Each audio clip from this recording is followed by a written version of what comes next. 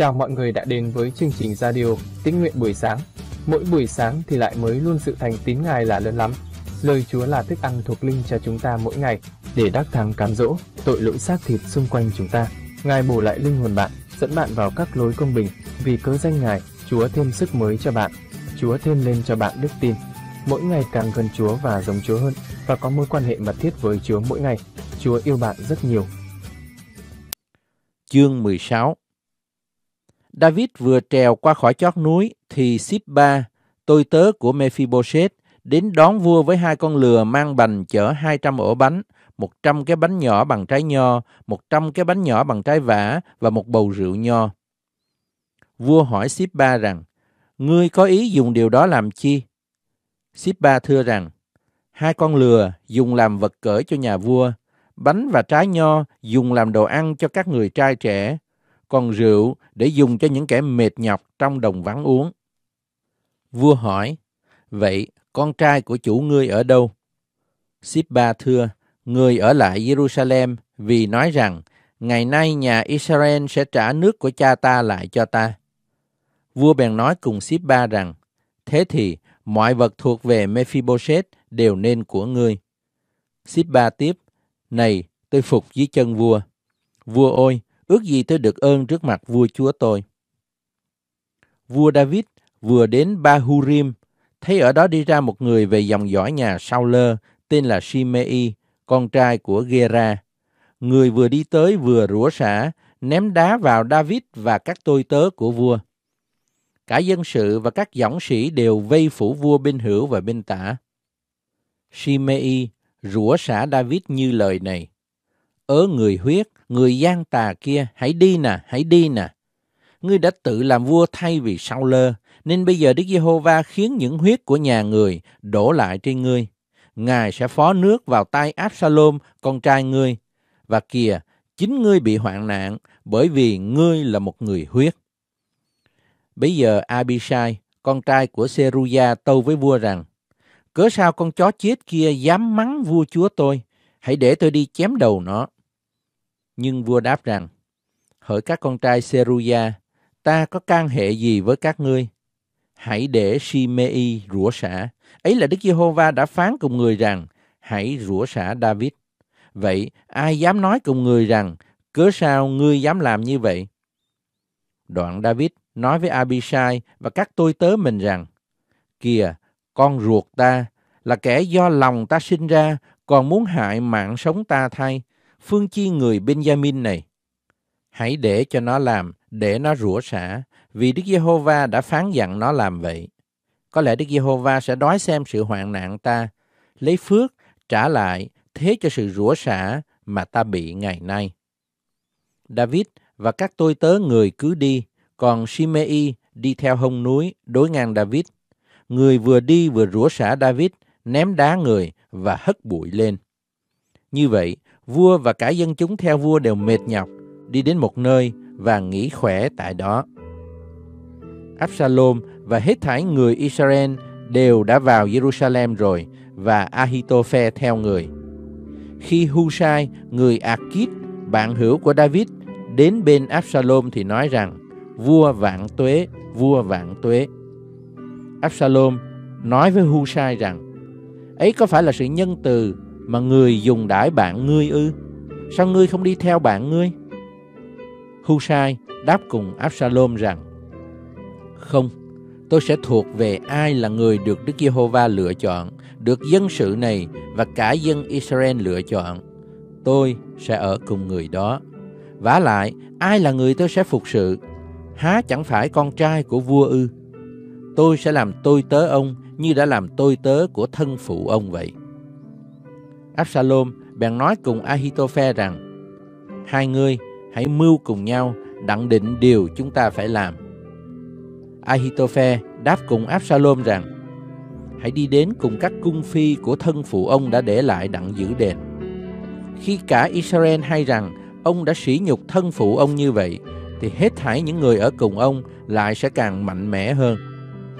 Vậy, người ta che cho Absalom một cái trại ở trên sân nóc đền, rồi trước mặt cả Israel, Absalom đi đến cùng các cung phi của cha mình. Và Trong lúc đó, người ta coi mưu của Ahitophe như lời phán của chính Đức Chúa Trời. Giá trị các mưu của Ahitophe hoặc đối cùng David hoặc đối cùng Absalom đều là như vậy. Chương 17 Ahitophe lại nói cùng Absalom rằng Xin cho phép tôi chọn 12.000 quân. Tôi sẽ kéo ra đuổi theo David nội đêm nay. Tôi sẽ xông vào người trong lúc người mệt mỏi ngã lòng Và làm cho người kinh khiếp. Cả dân chúng đi theo người sẽ chạy trốn Và tôi sẽ giết một mình vua. Như vậy, tôi sẽ dẫn cả dân chúng trở về cùng ông. Vì sự chết của một mình người mà ông vẫn đuổi theo đó Sẽ khiến cho mọi người trở về. Vậy cả dân chúng sẽ được bình yên. Absalom và các trưởng lão Israel đều nhận lời ấy là phải. Song Absalom nói rằng, hãy vời Husai, người Akit đến, để chúng ta cũng nghe lời người bàn nữa. Husai đã vào trong đền Absalom, thì Absalom nói cùng người rằng, Ahitophe đã nói lời như vậy, chúng ta có nên làm theo lời người đã bàn hay chăng? Husai bèn đáp cùng Absalom rằng, lần này lời bàn của Ahitophe không được tốt lành. Người tiếp rằng, vua đã biết vua cha và các người của vua cha là những dõng sĩ có lòng nóng giận khác nào gấu cái trên rừng bị người ta bắt con nó. Lại nữa, vua cha là một người thạo việc chiến trận, chắc chẳng ở đêm cùng đạo binh đâu. Quả lúc này, người ẩn trong một hang hố nào hay là trong chỗ nào khác. Nếu khởi tiên, chúng ta bị thua, hết thảy những kẻ nghe sẽ nói rằng phe của Absalom đã bị thua. Bây giờ, kẻ mạnh bạo hơn hết, dầu có lòng như sư tử, cũng phải nát gan, vì cả Israel biết rằng vua cha là một tay anh hùng, và những kẻ theo người đều là can đảm. Nên tôi bàn rằng, thà hết thảy dân Israel, từ Dan cho đến Beersheba, hiệp lại chung quanh ông, đông như cát trên bờ biển thì hơn. Ông sẽ thân hành ra trận. Vô luận người ở chỗ nào, chúng ta sẽ xông đến người, đáp trên người như sương sa trên đất, rồi người và kẻ theo người cũng không thể thoát khỏi được. Nếu người ẩn mình trong thành nào, cả Israel tất sẽ lấy dây vòng chung quanh thành đó, rồi kéo thành đó xuống đáy khe, đến đổi người ta không thấy một cục đá nào còn lại. Bây giờ, Absalom và cả dân Israel đều nói rằng, mưu của Husai, người Akit, hay hơn mưu của Ahitophe.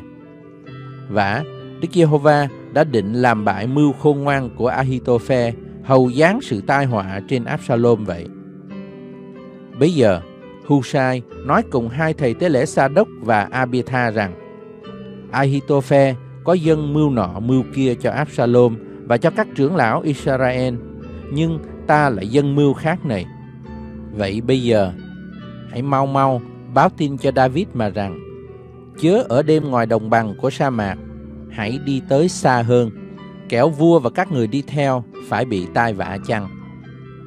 Jonathan và Ahimaaz đứng tại Enrogen, không dám vào trong thành, e người ta thấy.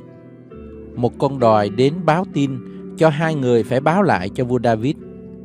Nhưng có một người trai trẻ thấy họ, bèn đến thuật cho Absalom hay. Hai người đã vội vã cùng đi và đến nhà của một người ở Bahurim trong sân người có một cái giếng, hai người bèn xuống đó. Vợ của người này lấy một cái mền trải trên miệng giếng, rồi trên đó người rải phơi lúa mạch cho người ta không nghi ngờ chi hết. Các tôi tớ của Absalom đến nhà người nữ này mà hỏi rằng, Ahimaaz và Jonathan ở đâu? Người nữ đáp rằng, hai người đã qua suối rồi. Vậy, họ đi theo tìm, xong không gặp, bèn trở về Jerusalem. Sau khi chúng đi rồi, Ahimaaz và Jonathan đi lên khỏi giếng, rồi đi báo tin này cho David rằng, hãy trỗi dậy, mau qua sông, vì Ahitophe đã bàn định mưu này nghịch cùng vua. David bèn trỗi dậy với cả dân theo người, rồi đi qua sông Jordan. Vừa rạng đông, chẳng còn sót một người nào chưa qua sông. Ahitophe thấy người ta không theo mưu của mình, bèn thắng lừa trở về thành mình và vào trong nhà người. Sau khi người đã sắp đặt việc mình rồi, thì tự thắt cổ mà chết. Người ta chôn người trong mộ của cha người. Đang lúc David đi đến Mahanaim, thì Absalom đi ngang qua sông Jordan. có cả đạo quân Israel đi theo. Absalom đã lập Amasa làm tổng binh thế cho Joab. Vả, Amasa là con trai của một người Israel tên là Gitra, xưa đã ăn ở cùng Abigan là con gái của Nahat, chị của Seruya, mẹ của Joab. Israel đóng trại với Absalom tại trong xứ Galaad. Khi David đã đến Mahanaim, thì Shobi, con trai Nahat, quê ở Rabba là thành của dân Ammon, với Maki, con trai Amien ở thành Lodeba và Barzillai người Galaad ở thành Rogelim đều đem cho David và cho cả dân theo người những giường, chén, chậu đất, lúa mì, lúa mạch, bột mì, hột rang, đậu, phạn đậu và các thứ hột rang khác, mật ong, mỡ sữa, con chiên và bánh sữa bò đặng cho David và đạo quân người ăn vì chúng nói rằng dân sự đã đói khát và mệt nhọc trong đồng vắng. Chương 18 David điểm dân sự đi theo mình, rồi đặt ở trước đầu chúng những trưởng của ngàn người, trưởng của trăm người. Người chia dân ra làm ba toán, khiến Joab lãnh một toán, Abishai con của Seruya em của Joab lãnh một toán, còn Itai người Gác lãnh một toán. Đoạn, vua nói cùng dân sự rằng, hẳn ta cũng sẽ đi ra với các ngươi. Nhưng dân sự thưa rằng, vua chớ đến, vì nếu chúng tôi chạy trốn, thù nghịch sẽ không lấy làm hệ trọng gì, và dẫu đến đổi phân nửa chúng tôi có chết đi, thì chúng nó cũng không chú ý đến. Còn vua, vua bằng một vạn chúng tôi. Vậy, thà vua ở trong thành, trực sẵn tiếp cứu chúng tôi thì hơn. Vua tiếp rằng, ta sẽ làm điều chi các ngươi lấy làm phải. Vậy, người đứng tại cửa thành, trong khi dân sự kéo đi từng toán trăm và ngàn. Vua truyền lệnh này cho Joab, Abishai và Itai mà rằng, hãy vì cớ ta dung cho Absalom trai trẻ. Cả dân đều nghe lời vua căn dặn cho các trưởng vì Absalom. Dân sự kéo ra đồng, đón quân Israel, giao chiến tại trong rừng Ephraim. Đạo quân Israel bị các tôi tớ của David đánh bại. Thật ấy là một trận thua lớn. Trong ngày đó chết mất hai vạn người. Chiến tranh lan khắp miền và trong ngày đó có nhiều người chết mất trong rừng hơn là chết ở dưới lưỡi gươm. Các tôi tớ của David gặp Absalom cởi một con la. Con la lủi vào dưới nhành xỏ rế của cây thông lớn. Đầu Absalom phải vướng trong nhành và người bị treo giữa khoảng trời đất. Còn con la chở người thì thoát đi khỏi. Có người thấy điều đó đến nói cùng Joab rằng Tôi đã thấy Absalom bị treo trên cây thông. Joab đáp cùng người rằng Chi, ngươi có thấy hắn ư? Vậy sao chẳng giết hắn tại chỗ đi? Nhược bằng có giết, ta sẵn lòng thưởng ngươi 10 miếng bạc và một cái đai lưng. Nhưng người ấy thưa rằng, dẫu tôi nắm trong tay một ngàn miếng bạc, cũng chẳng dám tra tay vào vương tử, vì chúng tôi có nghe vua biểu dặn ông Abishai và Itai rằng, khá giữ lấy, chớ đụng đến chàng Absalom trai trẻ. vả lại, nếu tôi lấy lòng bất trung mà giết người, thì chẳng có thể nào giấu được vua. Chắc chính ông làm người cáo tôi. Joab đáp, ta chẳng thèm nán ở đây mà nghe ngươi. Người bèn lấy ba cây giáo đâm vào trái tim của Absalom đang còn sống ở giữa cây thông. Đoạn 10 kẻ trai trẻ vác binh khí của Joab vây quanh Absalom, đánh và giết người đi. Kế đó Joab thổi kèn. Dân sự thôi đuổi theo quân Israel bởi vì Joab cản chúng. Người ta lấy thây Absalom, ném vào trong một cái hố lớn ở giữa rừng, rồi chất đá lên trên người thành một đống lớn. Hết thảy mọi người Israel đều chạy trốn về trại mình. Absalom lúc còn sống, có sai dựng một cái bia ở trong trũng vua, vì người nói rằng, ta không có con trai đặng lưu danh ta. Rồi người lấy danh mình đặt cho cái bia đó. Đến ngày nay người ta hãy còn gọi là bia Absalom. Ahimaaz, con trai của Sa Đốc, nói cùng Joab rằng Xin cho phép tôi chạy đem cho vua tin lành này rằng Đức Giê-hô-va đã xử công bình và giải cứu người khỏi kẻ thù nghịch mình. Joab đáp, Ngày nay, ngươi sẽ chẳng làm kẻ đem tin lành, một ngày khác ngươi sẽ làm. Ngày nay cái tin chẳng được lành vì vương tử đã chết. Joab bèn nói cùng Cushi rằng hãy đi thuật cho vua điều ngươi đã thấy. Cushi lại Joab rồi chạy đi. Ahimac, con trai của Sa đốc, lại nói cùng Joab rằng mặc dầu xảy đến điều chi, hãy để cho tôi chạy theo sau Cushi. Joab tiếp, hỡi con, cớ sao con muốn chạy đi? Việc báo tin này sẽ chẳng thưởng gì cho con. Người thưa, mặc dầu tôi muốn chạy đi. Joab nói cùng người rằng hãy chạy đi. Vậy Ahimat chạy qua đồng bằng và bươn tới trước Cushi. David ngồi ở giữa hai cái cửa thành, còn quân canh trèo lên đỉnh lầu cửa thành. Ở trên vách tường, ngước mắt lên, nhìn thấy có một người chạy ên. Quân canh la lên và tâu cho vua biết. Vua nói, nếu hắn một mình, chắc đem tin lành. Người chạy mãi và đi đến gần. Đoạn quân canh thấy một người khác cũng chạy, bèn la với người giữ cửa mà rằng, Kìa, lại có một người chạy ên. Vua nói, hắn cũng đem tin lành. Quân canh tiếp, thấy người chạy đầu, giống dạng Ahimat, con trai của Sa đốc. Vua nói, ấy là một người tử tế, người chắc đem tin lành. Ahimat bèn kêu lên và tâu cùng vua rằng, mọi sự may mắn. Rồi người sắp mình xuống trước mặt vua và tâu rằng, ngợi khen Jehovah Đức Chúa Trời của vua, vì Ngài đã giải cứu vua khỏi những kẻ đã phản nghịch cùng vua chúa tôi. Nhưng vua hỏi rằng, chàng Absalom trai trẻ được bình an vô hại chăng? Ahimaaz thưa rằng, khi Joab sai kẻ tôi tớ vua và chính tôi đi, thì tôi thấy có sự ồn ào dữ dội dấy lên, nhưng tôi chẳng biết là chi. Vua phán cùng người rằng, hãy lui ra và đứng tại đó. Người bèn lui ra và chờ. Cushi bèn đến và tâu rằng, này là một tin lành cho vua chúa tôi. Ngày nay Đức Giê-hô-va đã xử công bình cho vua và giải cứu vua khỏi các kẻ dấy lên phản nghịch cùng vua. Vua nói cùng Cushi rằng, chàng Absalom trai trẻ được bình an vô hại chăng? Cushi đáp, nguyện các kẻ thù nghịch vua chúa tôi và hết thảy những người nào phản nghịch đặng hại vua bị đồng số phận với người trai trẻ ấy. Vua rất cảm thương, bèn lên lầu cửa thành và khóc. Người vừa đi vừa nói rằng, Ôi, Absalom con trai ta, Absalom con trai ta, con trai ta. Ước chi, chính ta chết thế cho con. Ôi, Absalom con trai ta, con trai ta.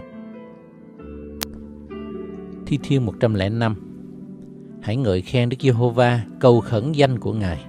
Khá truyền ra giữa các dân những công việc Ngài. Hãy hát, hãy hát cho Ngài những bài ca. Khá nói về các việc lạ lùng của Ngài. Hãy khoe mình về danh thánh Ngài. Nguyện lòng kẻ nào tìm cầu Đức Giê-hô-va được khoái lạc.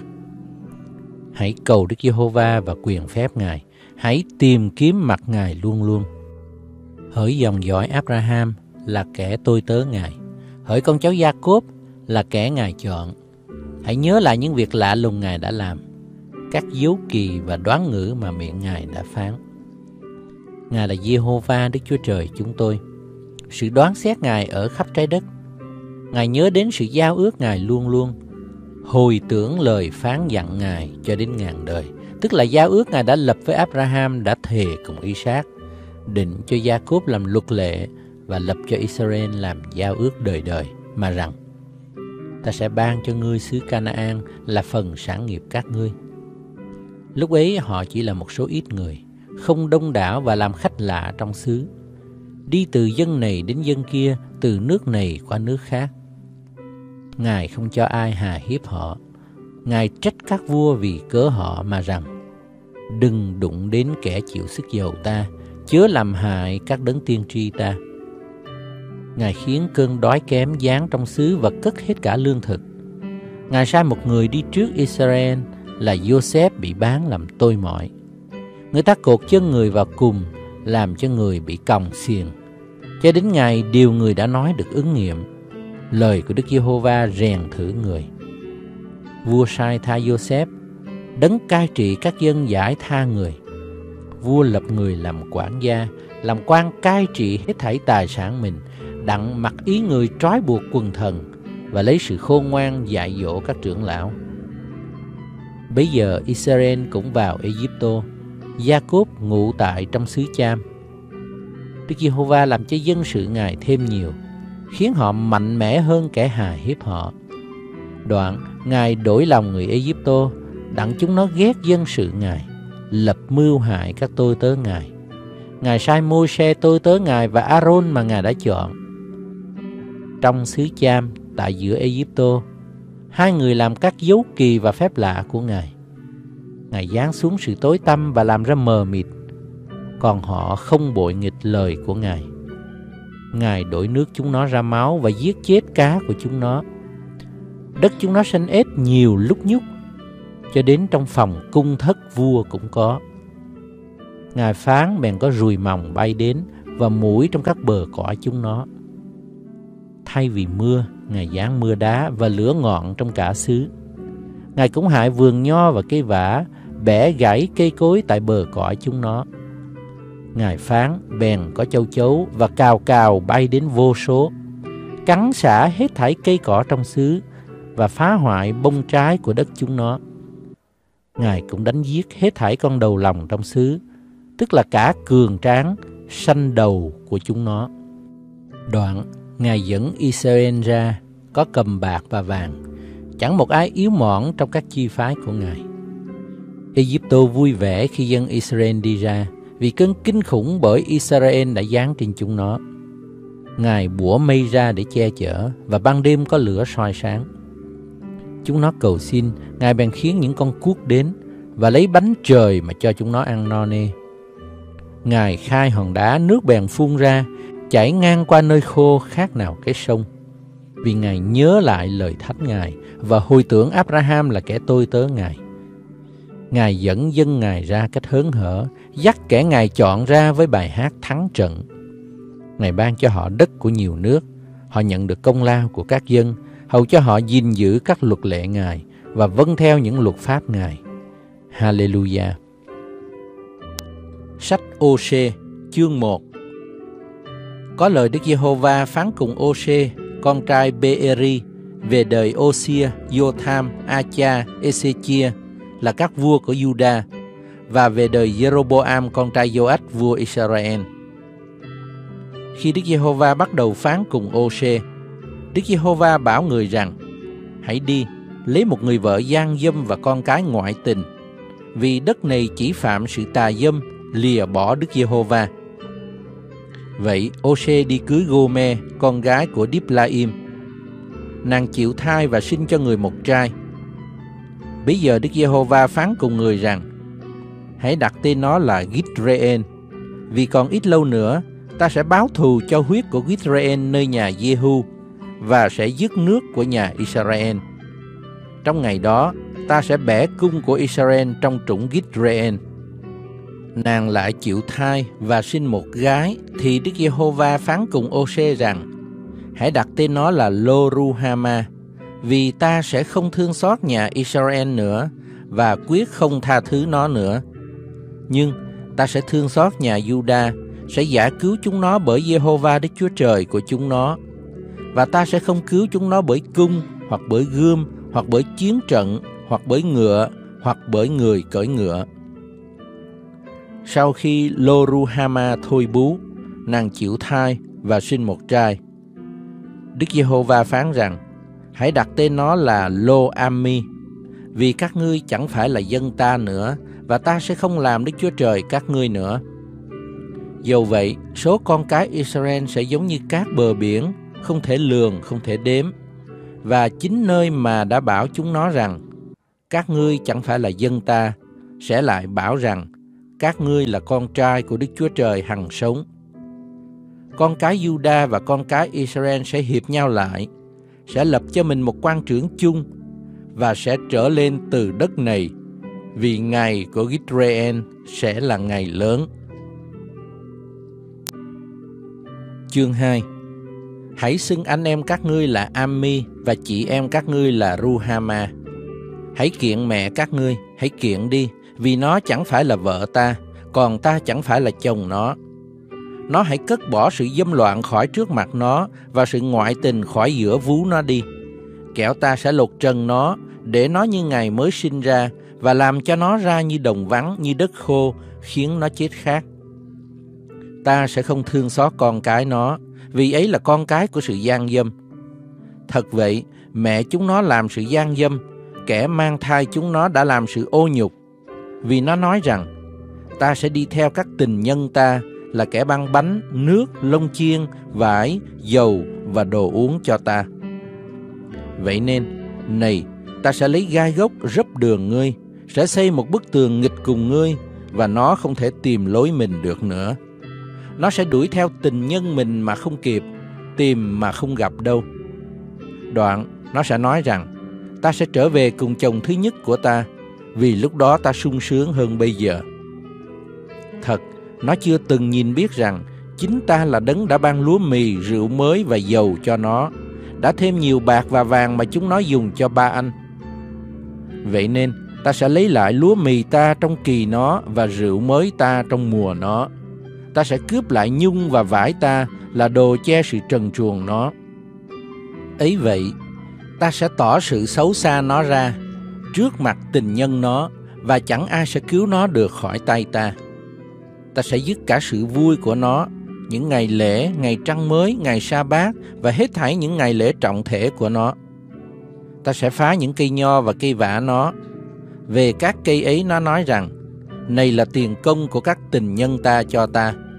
Ta sẽ làm cho những cây ấy nên rừng và các thú đồng sẽ ăn đi ta sẽ thăm phạt nó vì những ngày mà nó dâng hương cho các tượng ba anh, trang sức những hoa tai và đồ châu báu.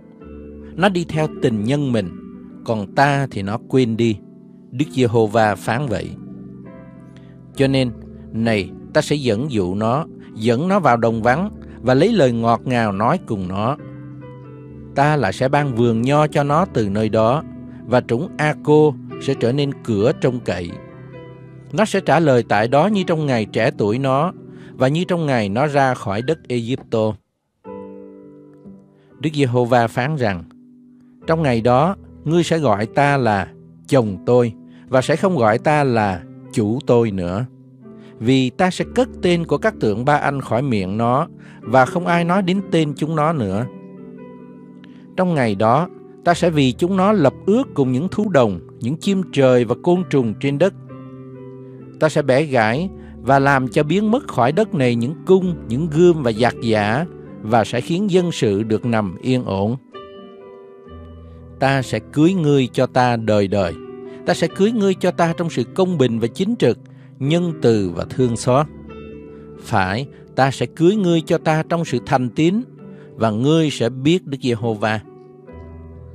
Đức Giê-hô-va phán: Trong ngày đó, ta sẽ trả lời, ta sẽ trả lời cho các tầng trời, các tầng trời sẽ trả lời cho đất, đất sẽ trả lời cho lúa mì, cho rượu mới, cho dầu, và ba thứ này sẽ trả lời cho Gitraen.